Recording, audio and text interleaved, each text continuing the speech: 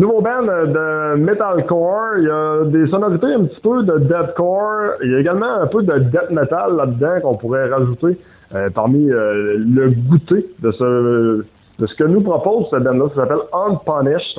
Euh, c'est mené par leur chanteur Jean-Christophe Magnan. Le gars, il vient de la place que le gaz est le moins cher, probablement au Québec, ou pas loin, du moins, c'est Saint-Lambert. Je vais vous le présenter, on va parler un petit peu de leur groupe.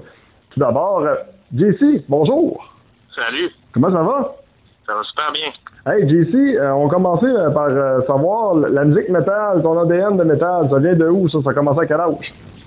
Ouais, là, je suis rendu vieux, mais je dirais que j'ai, comme, j'ai pas le métal sur le tard au début vingtaine, là, à l'université. Ça a parti, j'étais plus un gars de punk rock à l'adolescence, puis ça a commencé avec euh, Limbiskit, Korn, ça a monté à System of a Down, après ça Slipknot, j'ai fait, j'ai, pris un deux minutes, puis je me suis rendu compte que j'aimais vraiment la musique agressive, puis là, ben ça va juste, je continue la pente descendante vers les le, la violence, la musique extrême. Maintenant, j'écoute ben, j'écoute vraiment de tout, là, mais euh, maintenant, du deathcore, j'adore ça, euh, du euh, death metal et tout ça. Je suis rendu vraiment un métalleux euh, pur laine. C'était déjà une vingtaine d'années, mais c'est pas mal ça qui m'a amené là-dedans.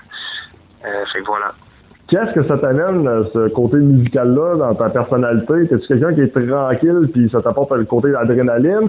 C'est-tu d'extérioriser un côté qu'on voit pas nécessairement de toi dans la vie de tous les jours? Qu'est-ce que ça t'amène, ce, la musique agressive, le métal, qui est plus Ouais. violent? Ouais, je dirais qu'il y a beaucoup de gens, euh, il y a beaucoup de gens, euh, comme des mortels, ça les agresse. Moi, ça me fait du bien. Je trouve justement, ça ça permet de, j'aime l'intensité, euh, j'aime l'aspect justement de sortir le stress de la semaine, euh, sortir le méchant, euh, défouler. Euh, c'est vraiment ce qui vient me chercher, l'émotion puis l'intensité de la musique. As-tu pris des cours de chant? Comment t'es devenu chanteur? Puis as-tu essayé peut-être d'être guitariste ou de, de jouer d'un autre instrument? ouais, j'ai, j'ai essayé d'être guitariste, c'était pas trop mon talent. J'avais joué un petit peu de basse. J'adore le drum. J'aime ça tapocher, mais je, je me considère pas drummer. Euh, j'ai commencé à chanter, c'est ça, à l'université. On avait un band un peu comme euh, cover de plein d'affaires rock, punk rock, metal. Puis je me suis découvert euh, un certain talent pour chanter du métal. Euh, j'ai puis on a parti un projet à l'époque d'un hommage à System of a Down. Que là, ça c'est devenu c'est devenu un peu mon mon occupation principale pendant quoi 12-13 ans. On avait un hommage, on se promenait partout au Québec. Dans cette période-là, j'ai pris des cours de chant classique pour m'aider dans mon range parce que ce système, c'est quand même euh, exigeant d'un point de vue range vocal. Il faut que tu sois capable de chanter, crier euh, dans beaucoup de registres. Euh, puis par pur, je dirais par pur amour de ça, j'adore m'amuser avec ma voix. Fait je suis en auto, puis j'essaie toutes sortes d'affaires, j'écoute un nouveau style. Ah lui il fait ça, c'est cool, je vais l'essayer. J'essaie d'incorporer tout ça, j'adore explorer ce que je peux faire avec ma voix, avec mon instrument. Fait que euh, c'est ce qui m'a amené à faire euh, ce que je fais aujourd'hui là. Puis je me suis rendu compte plus c'est plus c'est agressif et intense, plus j'aime ça là. euh, j'adore j'adore ce côté-là. Tu travailles ta voix de quelle façon? As-tu eu un coach? Est-ce que c'est sur Internet? Est-ce que c'est de l'auto-éducation, comme j'aime appeler ça? ben, on s'écoute? Quand j'ai commencé il y a plus de 20 ans, il n'y avait pas euh, YouTube et euh, toutes les petits euh, les petites vidéos de training qu'on a aujourd'hui sur le bout des doigts. C'est assez incroyable. Euh, fait qu'au départ, c'était vraiment moi dans mon auto qui essayait de, de reproduire ce que j'entendais. Après ça, quand j'ai pris des cours de chant, c'était vraiment des cours de chant plus classiques pour euh, plus sur la respiration, les notes normales, mais il n'existait pas non plus de, de cours de chant métal que là on voit aujourd'hui, il y en a plein, puis il y a plein de monde qui s'improvise coach de chant métal. Euh, fait qu'il y a beaucoup de choses quand même que je regarde ça. Des fois, je vais regarder des, euh, des chanteurs qui font des petites capsules, puis ils montrent un peu comment ils placent leur euh, leur bouche, leur langue, la technique pour certains sons. Je sais, ah, ok, c'est comme ça. Fait que là, je l'essaye, je retravaille mes affaires. Fait que c'est vraiment, euh, je dirais, par, par tâtonnement, là, euh, depuis de nombreuses années. là. Fait que à force de, de, de m'amuser avec ma voix, ben, je découvre des nouveaux trucs. Fait que je dirais c'est pas mal comme ça. Pas mal essai-erreur, euh, exploration. T'es papa dans la vie, mais t'es également papa d'un groupe. Euh, on va dire comme ça, parce que les gars sont tous un petit peu plus jeunes que toi. Unpunished. Euh, J'écoute peut-être de t'entendre tout d'abord sur euh, la naissance du groupe. Puis, euh, c'est comment travailler avec une gang de jeunes de même? Parce que, bon, écoute, c'est pas si pire que ça. Ils ont juste 10 ans de moins que toi. Là. Écoute, on parle pas non plus d'une différence accrue, mais n'empêche que t'es peut-être à un autre niveau de ta vie que les autres peuvent l'être. Effectivement. Oh, ouais, c'est ça. là. moi, j'ai une grande qui, qui vient d'avoir 18 ans, puis euh, le seul autre dans le groupe qui a un enfant, c'est ses garçons, je pense, sont 4 ans et 2 ans environ. Là, fait qu'on est on n'est pas en même étape, mais c'est pas grave. Ils passent leur temps à m'écœurer sur mon âge. Petit papy, mais en même temps, j'amène un bagage, euh, des contacts, une expérience que j'ai eue avant. Euh, puis justement, comment le groupe a, a débuté, c'est que moi, j'ai eu longtemps, longtemps mon hommage à System of a. J'ai arrêté une couple d'années parce qu'avec les enfants, le travail, ça c'était trop prenant. J'ai pris comme une retraite de euh, 5-6 ans. Après ça, je voulais repartir quelque chose. Puis, euh, j'avais cherché sur Internet un groupe hommage métal varié. Je dis, bon, je vais juste recommencer comme ça, pour on verra j'ai connu Dean, qui est un de nos guitaristes, dans ce, groupe-là. Ça, ça pas vraiment nulle part. J'ai proposé. Je moi, j'aimerais ça faire un hommage à Parkway Drive. Ça te dessus. Puis il dit, ah ouais, ça serait cool. Et je dis, il faut qu'on trouve d'autres musiciens. Il y a Justin, euh, notre drummer, qui travaillait avec moi. Puis euh, j'avais mis une petite annonce sur Facebook. Puis, hey, euh, moi, je joue du drum, ça m'intéresserait. Puis je pense même que mon guitariste, mon bassiste, ça pourrait les intéresser d'embarquer dans le projet. Fait que finalement, j'ai eu un 3 pour 1. Euh, j'ai eu euh, tous mes musiciens euh, assez rapidement. Ça, c'est une bonne chance. Des fois, c'est difficile de, trouver des bons musiciens. Fait qu'on a commencé comme un hommage à Parkway Drive et Trivium, qui sont deux groupes qu'on aimait. Fait qu'on a monté cet hommage-là en 2018 ou 2019 environ. On a commencé, on s'est inscrit au Québec Rock Contest, entre autres. Il y avait un concours de ben hommage. On est allé là, on a quand même bien performé. On s'est rendu demi-finale. Fait qu'on a débuté comme ça. On a fait des shows à quand même pas mal de places au Québec avant la pandémie. Puis, ben, la pandémie arrive, euh, plus de shows, euh, tout est fermé. Fait que je ben, les gars, ça tente de, de, composer. chacun chez nous, on fait nos trucs. On, on commençait à composer. Fait qu'on a, on a parti comme ça pendant la pandémie. On a monté nos premières chansons. On s'est inscrit à un concours de, de groupe euh, de musique originale amateur. On avait fini troisième à ce concours-là en composant nos tunes en dedans de 4-5 mois environ. C'est qu'on dit, bon, ben, je pense qu'on a de quoi. Puis voilà, une première, je démarré comme ça. Puis c'est ce qui nous amène à aujourd'hui. Tu sais, euh, j'ai écouté un petit peu vos chansons euh, quand on parle peut-être de, de to the Gods. Euh, dans Shadow and Dust, votre premier EP également, on a vu déjà une évolution musicale. Et puis écoute, on va parler également de votre nouveau single, d'un premier album officiel qui sort bientôt. la tune Burn the Traitors avec Alex Leblanc, bon écoute, on a connu avec soit avec Ferracturus dernièrement, ou sinon avec Mass Murder Messia, puis également avec Neuraxis également. Je pense qu'Alex a plus vraiment besoin de, de, de présentation, mais on va y revenir. Il y a déjà une belle évolution musical de votre part, là, déjà en commençant? Oui. Oui, vraiment. On a commencé, ben c'est sûr qu'au début, les premières, on jouait beaucoup de Parkway Drive, Trivium, fait que ces inspirations-là, ils transparaissaient beaucoup, beaucoup. Puis, tranquillement, ben là, c'est l'influence d'un peu tout le monde. Il y a Dick, notre guitariste, il est très tech death, euh, death metal, euh, vraiment plus extrême. Moi, un petit peu plus aussi. Les autres gars étaient plus, euh, je vais dire, plus mollo. Euh, un petit peu plus metalcore, puis même des fois un peu punk rock. Mais là, c'est le mélange de tout ça puis l'influence. Et que graduellement, il y a un peu plus de, de côté death metal. Moi, vocalement, il y a beaucoup de petites choses deathcore que j'adore faire, que j'essaie d'incorporer. Fait que je veux pas, on a comme monté un petit peu en, intensité. Euh, on essaie par contre, bon, le Burn the Traders, la nouvelle est, très, très, très intense. Il n'y a pas de, de, clean. Par contre, on essaie de garder un côté mélodique quand même, qu'il y ait un bon groove dedans, pas purement euh, on va vite, on fait du bruit, puis euh, on s'en ira pas jusque-là. Mais euh, quand même, oui, il y a un cheminement un petit peu plus, euh, un petit peu plus dans l'intensité, je dirais. As-tu l'impression qu'avec Burn the Traitors, tu sais, oui, c'est votre première tune du nouvel album qui va s'en venir tranquillement, mais sûrement. là, on a-tu donné vraiment le ton à la, nouvelle couleur ou à la vraie couleur du band? Ouais, ben je dirais que celle-là, elle va être pas mal dans nos, je dirais dans les plus extrêmes. on, on en a qu'on a quand même encore du clean, on a encore des fois certains refrains où c'est chanté.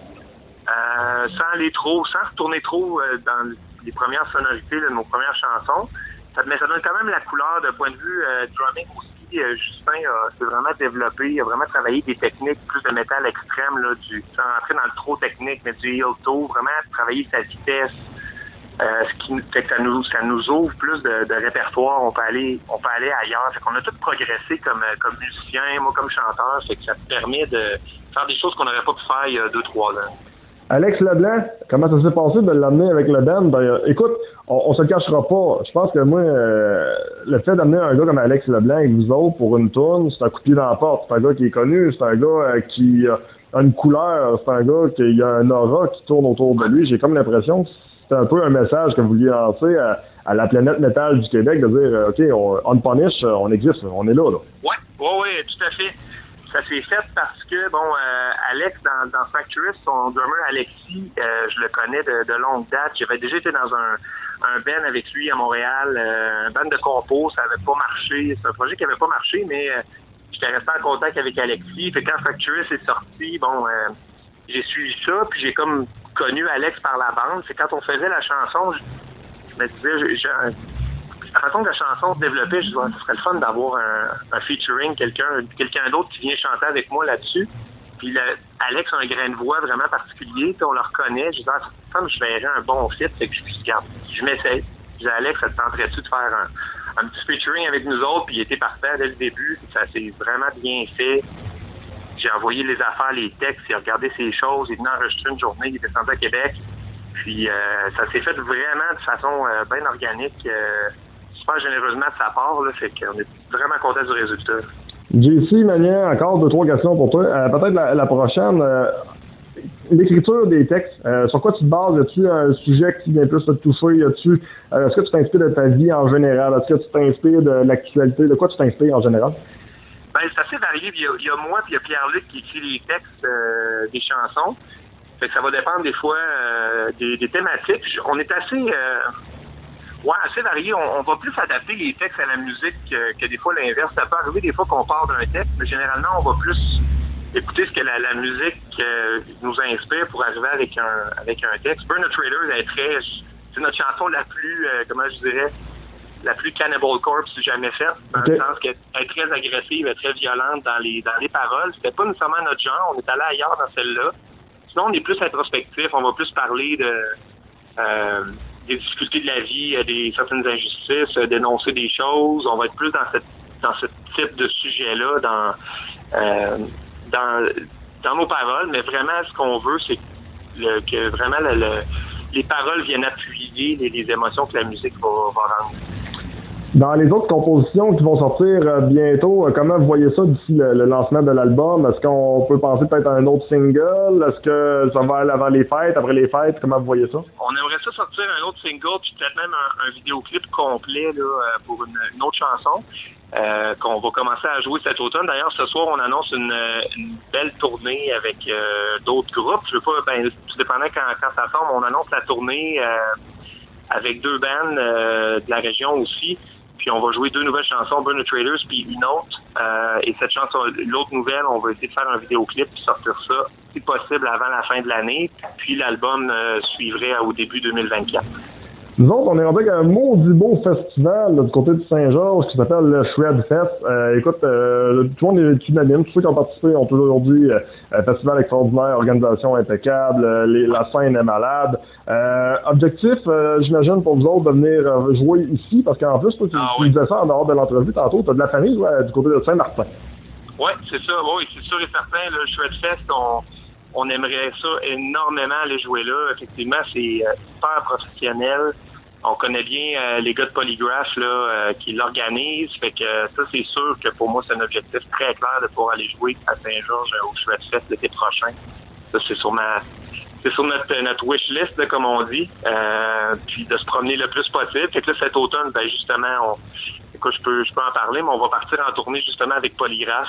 Euh, puis il y a une autre bande qui s'appelle Escape, on annonce ça. Donc, euh, on va aller se promener un petit peu partout au Québec cet automne. Fait que je pense que ça va aider, euh, ça risque d'aider nos chances à, pouvoir être au shred l'été prochain. Je sais pas si on peut parler de trio de l'enfer, mais moi, on dit que ça va être un bon départ, en tout cas pour commencer cette tournée-là. Puis j'écoute peut-être de t'entendre sur une dernière question, une petite question bonus.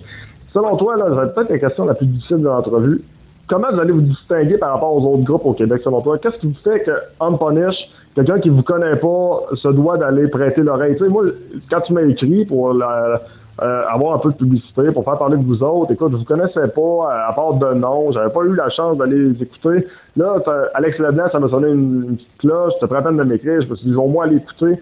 Euh, comment ça sonne, j'ai aimé votre couleur, j'ai aimé ce que vous avez donné. Mais quelqu'un qui dit, écoute, moi j'ai un détachement par rapport à vous autres, comment tu fais pour essayer de, comment vous allez aller l'amener à connaître votre groupe?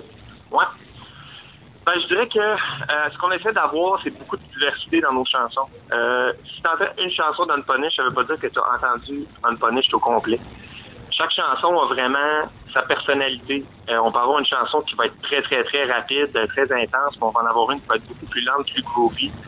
On essaie vraiment que nos chansons aient leur univers dans, chacune. Fait que chaque chanson d'un punish, il y en a une que t'aimes pas, ben, tu vas peut-être aimer toutes les autres, puis une que tu vas aimer moins. Fait qu'on on est capable d'aller ratisser assez large dans les influences. On va avoir des choses beaucoup plus mélodiques. On va avoir des chansons vraiment, là, c'est, on fait un mosh pit, puis on, on se défonce, on donne tout ce qu'on a. Qu'on a, on essaye vraiment d'amener une diversité dans nos chansons. Pas, on, essaie d'éviter la recette. Là. Il y a trop de groupes souvent qu'on entend que t'en as entendu une, tu les as toutes entendues. On vise de faire exactement l'inverse. Euh, live, euh, intensité, on joue ça euh, identique à ce que vous entendez sur l'album. Euh, hyper intense. Puis je pense aussi que c'est le mariage de autant brutalité, euh, agressivité qu'on peut aller chercher, mais autant d'autre côté, on peut aller chercher par l'émotion, puis vraiment quelque chose de, de, de très mélodique. c'est ce qu'on essaye de c'est ce qu'on essaie de créer là, comme, comme ambiance. Ça s'appelle Unpunished. c'est une belle découverte pour moi. J'invite les gens à vous découvrir également et à vous suivre sur les réseaux sociaux et à écouter votre musique ça, fait du bien. on ajoute euh, de la belle couleur, on ajoute de la nouveauté encore une fois, puis il y a plusieurs beaux groupes au Québec, on le dira jamais assez souvent. Il faut encourager un petit peu tout le monde là-dedans parce que même les plus gros groupes de métal à travers le monde ont commencé très très petits. Tout à fait. Merci à toi, c'est super apprécié.